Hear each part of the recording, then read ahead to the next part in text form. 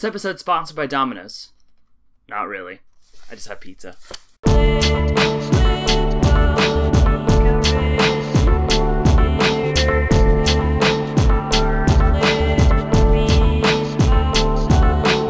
Hello, Internet. This is Olin from What I'm Listening to. I am back yet again with yet another episode. I guess this is an episode of a series of recent purchases. I have the recent purchases box with all the recent purchases. How many times am I going to say re-purchases? I can't even say it anymore. For today's episode of recent purchases, I dove into the clearance section as opposed to exploring the main area because I wanted to see what kind of goodies I could find for a dollar or a dollar ninety-nine, two ninety-nine, just super cheap. And thankfully, Amoeba has a massive clearance section, so I had a lot to explore. And even cooler, they do a thing where if you buy three, you get the fourth one for free. So, needless to say, I left with a handful of things, so let's open the box and find out what's inside.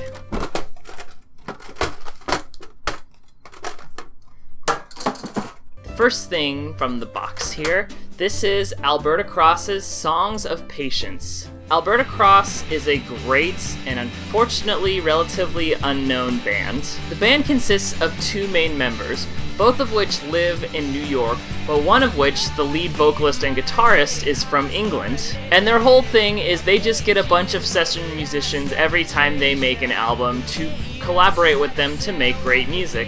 I first caught wind of these guys on David Letterman's show. They performed their song Money for the Weekend, and I was impressed.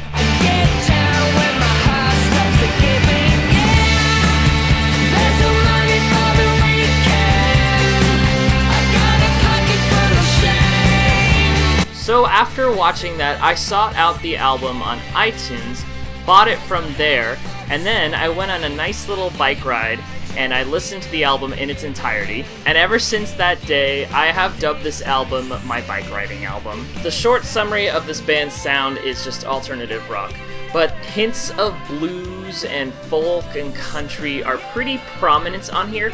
It's not necessarily twangy music, but you can tell that that's what they were rooted in. Some fantastic tracks live on here, Money for the Weekend being one of them, Magnolia is another one of my favorites. Lay Down is another great one. And then my personal favorite is Come On Maker. That's one of those songs where anytime I made a mix CD for somebody, I would always put it on there.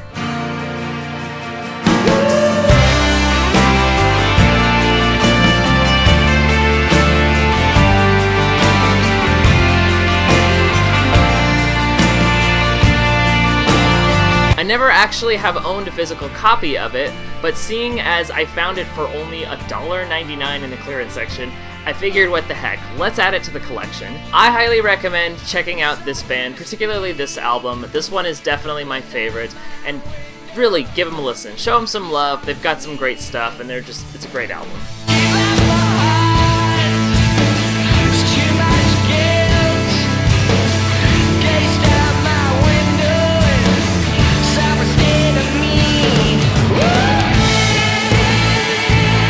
Next album from the box here, I have yet another album by Low. I have talked immensely already about Low in many other videos, to the point where I don't really want to describe their sound because you should really know them by now. What I will say about this particular CD is it's the first thing they ever released off the Kranky label. Low has been signed onto a variety of great labels. Sub Pop would be one they did in the later days, Vernon Yard was the one they were signed onto in the very beginning, and Kranky was the one they signed onto in the middle of their career. And if you've watched any of my videos, you know that Kranky is one of, if not my all-time favorite record label. It's the essential label to look through when you're trying to get into experimental music. You're, you're bound to find something great there. And listening to some of the songs on here, you can tell why they signed on to Kranky.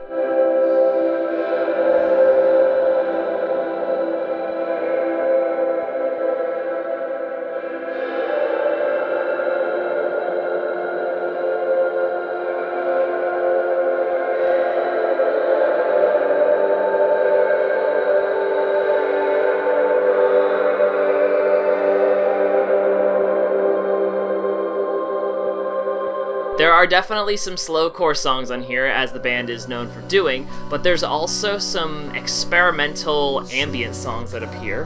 And that's one of the reasons why I got this album. I love hearing their ambient and experimental side of things. Their slowcore stuff is gorgeous, but adding those little experimental flourishes just makes them so much more interesting. And like that Alberta Cross album, this is one that I actually bought on iTunes a long time ago, and considering that it was in the clearance section, I figured I'd get a CD copy of it. I am now one step closer to owning everything by Low. I still have a lot to go, but this one gets me closer to achieving that goal. And it's a fantastic album. Check them out and just check out everything on Kranky if you haven't. It's just, it's all really good.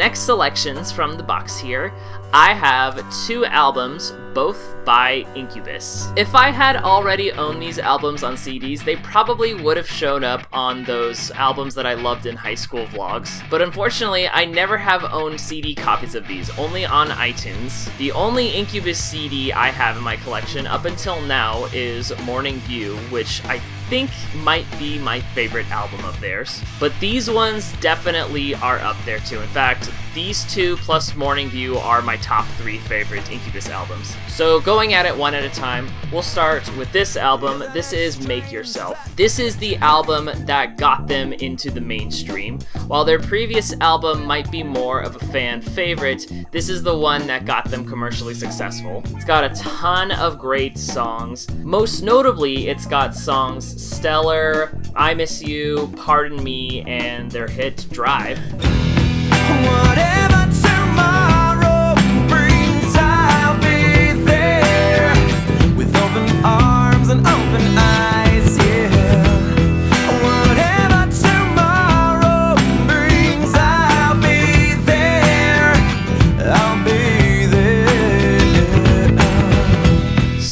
was the first song I ever heard by this band. I have Guitar Hero 1 to thank for that. But I didn't actually fully appreciate the song or the band until much, much later in life. I rediscovered the song sometime in high school and decided to actually give the full album a listen because I hadn't heard anything else by the band. And that was my formal introduction to Incubus and their discography. Their songwriting is great, the lead vocalist has fantastic range. They unfortunately get lumped in with some of the nu metal bands out there, I think they are a bit more different than that.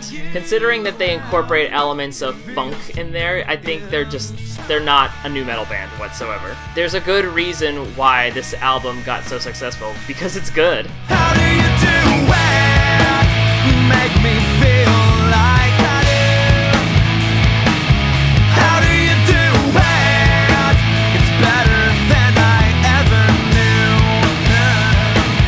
The other album of theirs I have is Light Grenades. This one's a bit of a later release. I think it came out two or three albums after this one. The more albums this band seemed to put out, the more they seem to be distancing themselves from their funk sound. On this album, there are definitely more alternative rock songs, as well as some noise rock songs in here. Whoever mixed this album made the guitars and the bass sound so fuzzy and it creates this chaotic noise. Even though it's not categorized as such, I consider this record a noise rock record.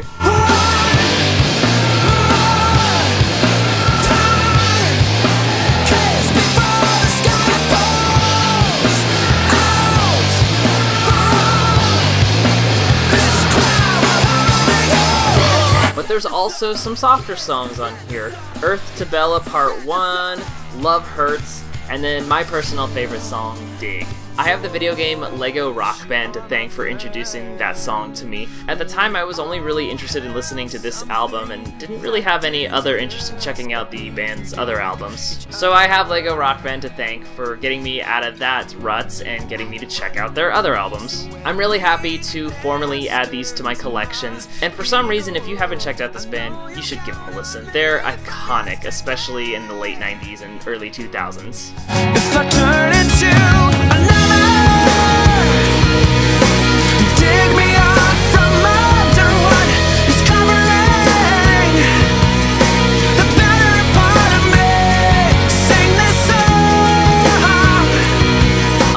Last album in the box here, I have Helmet's Betty. Now, I have known about this band for a very long time, but I've never actually listened to an album by them. The only Helmet song I've known about is Unsung, which, once again, thanking Guitar Hero 1 for introducing to me. And I know a lot about Page Hamilton, the lead vocalist and guitarist of the band. He's worked with a number of punk bands, as well as playing guitar in Glenn Branca's guitar orchestra at some point. But the main reason I grabbed this album is because supposedly it is one of the biggest influences in the post metal sound, which is a little interesting to me because most of the Helmet songs I've sampled seem a little too punky and edgy to be a post metal song. Post metal, in my mind, is heavy but atmospheric and beautiful at the same time. So getting this, I really want to get into the roots of that genre, and I expect to hear some greatness from it.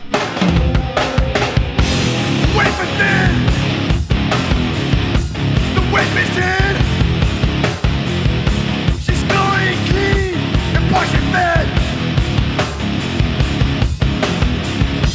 And on a small tangent here, I actually didn't take the price tag off this album for a particular reason. If you ever go to Amoeba, especially in the clearance section, you can see that sometimes on the tags you can see another price tag underneath it. I play a little game where anytime I buy an album that has another price tag underneath it, I'll peel off the first price tag and see how much the old price was in order to see how much money it was worth for a time. And considering I bought this for $1.99, I have to wonder what I saved. So let's peel off and find out. Ooh, this one's actually easy to get. Sometimes I have such a difficult time peeling these. Oh no, it's ripping. Oh no. There we go, I got it. Alright, so it looks like this album was previously $7.99. So I saved six bucks. That's awesome. But yeah, anyways, I'm really excited to give these guys a listen. I'm sure if I like this album, I'll be exploring the rest of their discography. But until then, I will be listening to this album closely. Hamburgers!